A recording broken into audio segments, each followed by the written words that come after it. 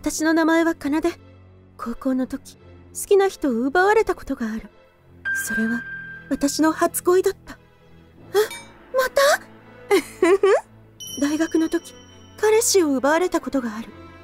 それは大学を卒業したら一緒に住もうと約束していた相手だった。そんな。5年前夫を奪われたことがある。それは私が妊娠中の出来事だった。通算3回。私の大切な人を奪ったのは同一人物。双子の妹。歌子だ。もう兄さんたら奏のことを裏切って私とこんなことしちゃうなんて。悪い人ね。うん。私の方が奏よりも魅力的で嫌になっちゃう。あ、奏あ、奏ヤッホーヤッホー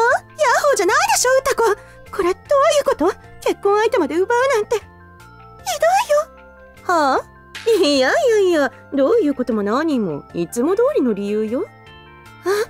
あだから私はあんたよりも優れている。この美しさを武器にしてあんたの大切なものを奪う。それだけの話よ。そんな。私はこの件を許すことができず夫とは離婚。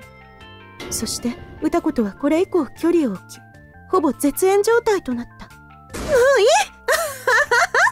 歌子と私は同じ場所から同じタイミングで生まれたに過ぎず考え方も価値観もかけ離れた別の生き物なのだと悟った。だからきっと歌子には何を言っても私のこの苦しみは分かってもらえない。そんな辛い経験から5年が経った。隣にいるのはあの頃お腹の中にいた娘の音符。歌子との間に確執があることなど知る由もなくすくすくと育っている。そして私の変化はもう一つ。ってことでお母さん私結婚することになったの。そうなの？まあそうなの？おめでとう。とっても嬉しいわ。もうあなたは結婚諦めてると思っていたから。ただいまん？誰か来てるの？お母さんが誰かと話してる声が聞こえるえ奏じゃん最悪前の夫を奪ってからほぼ会ってないしな。ていうかあの頃お腹の中にいた子あんなに大きくなってんだ。ウケる。一人であそこまで育てたんだ。ま会って余計なこと言われるのもだるいし顔合わせずに部屋入ろう。と。久しぶりに奏の前の夫に連絡でもしてみようかな。奏から奪った後の男って私のものになった途端全然魅力的じゃなくなるのよね。世界の七不思議に入れてもらおうかしら。世界の七不思議実行委員会もそこまで今じゃないぷんに。世界の七不思議実行委員会って何よ？そんなのないでしょ？本当におめでとう。ええ？今お母さん奏におめでとうって言った？誕生日でもないし入学卒業でもないし。ってことはまさか結婚おめでとう？やっぱり奏また結婚するのね。信じられない。何度も私に相手奪われてるのに懲りずに結婚？バカじゃないの？それでお相手はどんな方なの？お母さんがそんなに喜んでくれて私も嬉しいな。うーんそうだな。私の結婚相手はとっても優しくて頼りがいのある人だよ。子連れの私のことを受け入れてくれたし。まあそう。きゃのろけちゃって。気に入らないわね。あそういえば歌子と同じ高校の同級生って言ってたな高校の時は山田って呼ばれてたんだって。ん山田って？あの山田？へえそうなんだ。ん？ママ歌子って誰？足が8本あるのかな？歌子はタコじゃないよ。ちゃんと人だよ。一応ね。一応って何よ失礼ね。そっか。音符はまだ歌子に会ったことなかったね。歌子っていうのはママの双子の妹。へえそうなんだ。音符も会ってみたいな。うーんそれは難しいかな。ちょっとママと歌子は仲が良くないんだ。へえそうなの？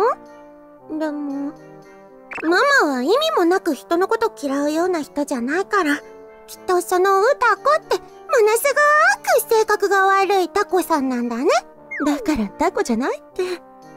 ま、音符はもう歌子のこと考えなくていいからね。はーい。はあ、何よ、私のこと好き勝手言っちゃって。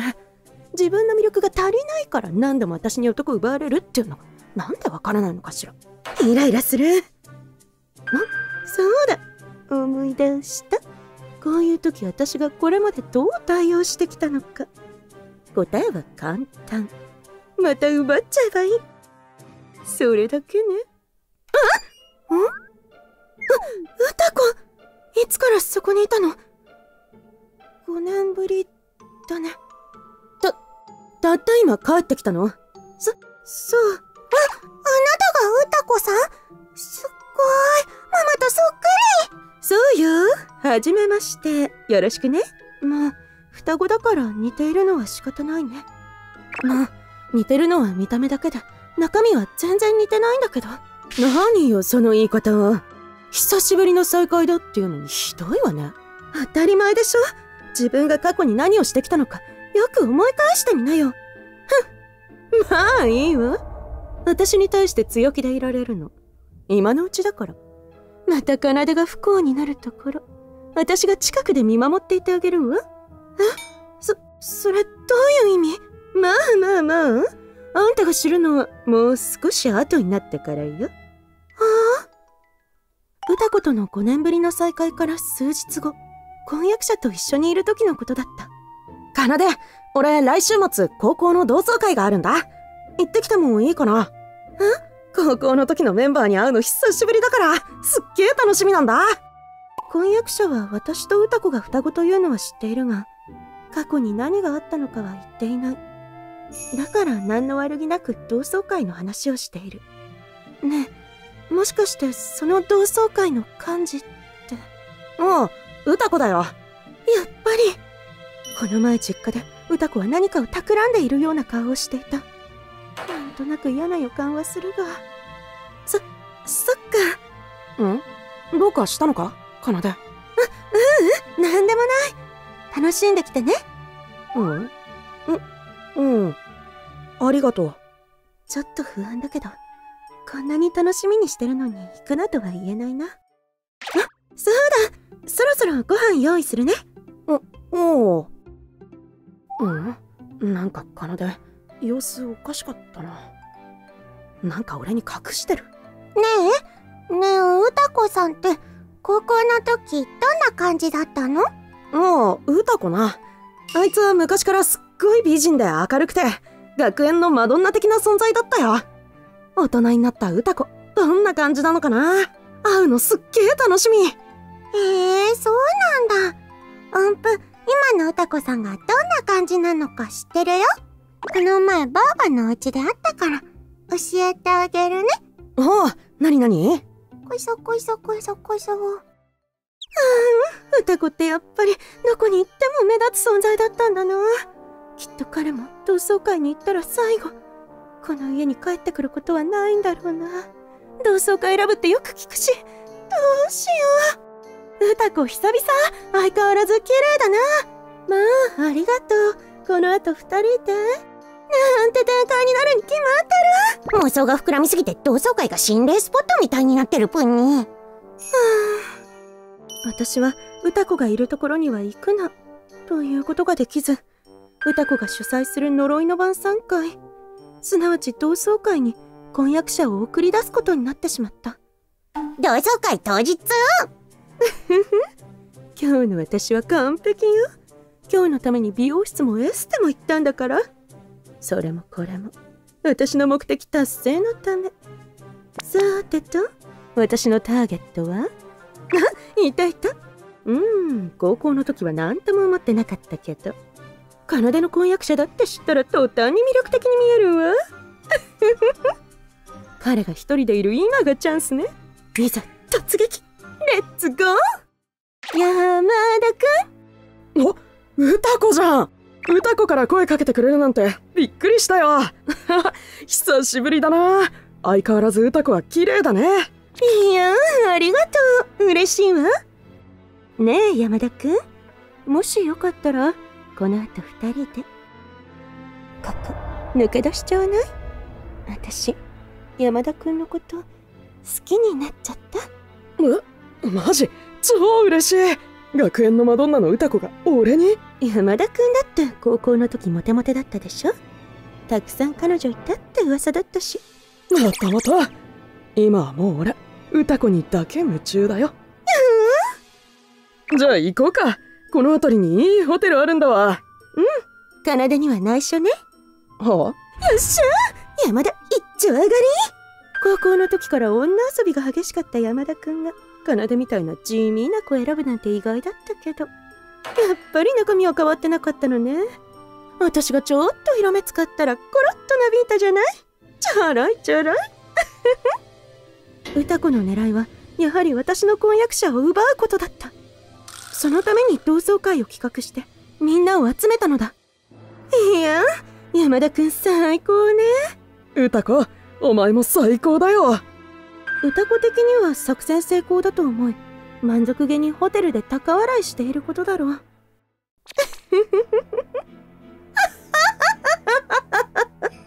笑いが止まらないわまた奏の婚約者の略奪。完了。と山田くんも私に続婚みたいだし。あそうだ。奏にあなたの婚約者はもう帰ってこないよ。って報告してあげよう。と。うーん。奏のやつなんて言うかな。あいつの泣き言聞くの。楽しみね。あやっほー。歌子だよ。奏調子どう？歌子さん？何？ん？あんた奏の娘ね？今ママは忙しいから音符が話聞いてあげるよ。ちょっとだけ。あなたには難しい話だから。すぐにママに代わってくれる？だからママは今忙しいって。まああんた頑固ね。奏に似て頑固ね。じゃあこれだけ伝えてくれる？ん？ママの婚約者私が奪ったから何言ってるの？う んごめんね。やっぱりあなたには理解できないわよね。早くママに電話を代わって。歌子さんが言ってることの意味は理解できるよ。音符のことバカにしないでよ。そういうことじゃなくて婚約者を奪うなんてことできるのが意味わからないんだよ。人って分裂するの？何言ってるのよあんた。音符？どうかした？そんなに怒って。だって歌子さんが意味わからないこと言ってるんだもん。意味がわからないっていうのは理解できないってことじゃなくてそのここにいる人とあっちにいる人が同じなのか分裂してるのかどうか。うーんごめん。ちょっと何言ってるのかわからないな。音符が何かを必死に伝えようとしていることだけはわかるが何を言いたいのかは理解できず本当はどうしても手が離せない場面ではあったがとりあえず私は電話に出てみることにした。もしもし歌子？何の用かな？音符がかなり興奮した様子だったけど。ああもうやっと出たわね。早速だけどあんたに報告があるのよ。報告？あんたの婚約者今日同窓会だったでしょ？あそういえば同窓会今日だったね。でもあんたもバカよね。私が幹事の同窓会に婚約者をみすみす送り出すなんて。どんなことになるかなんて想像ついたでしょ？ああそうだね。歌子が何かを企んでいるんだろうなっていうのは簡単に想像できた。まあその想像通り。私あんたの婚約者奪ったから。うーんそれどういう意味なのかな？もう認めたくないのはよーくわかるけど現実見なきゃ。これで通算4回目ね。あんたの彼氏って揃いも揃ってちょろいわ。きっと何かの勘違いだよ。そんなわけないもん。何よ？妙に自信満々じゃないの？今まで散々私に男奪わせておいて。自信とかじゃなくて事実だって。はあ？歌子誰と話してるの？いやまだ。今ね奏に私たちのことを報告してたの。奏ああそういえば歌子って双子だったよな。奏ってお姉ちゃんのことか。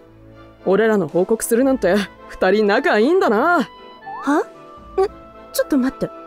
何？奏のこと知らないわけないわよね。え？知らないよ。会ったことないし。は？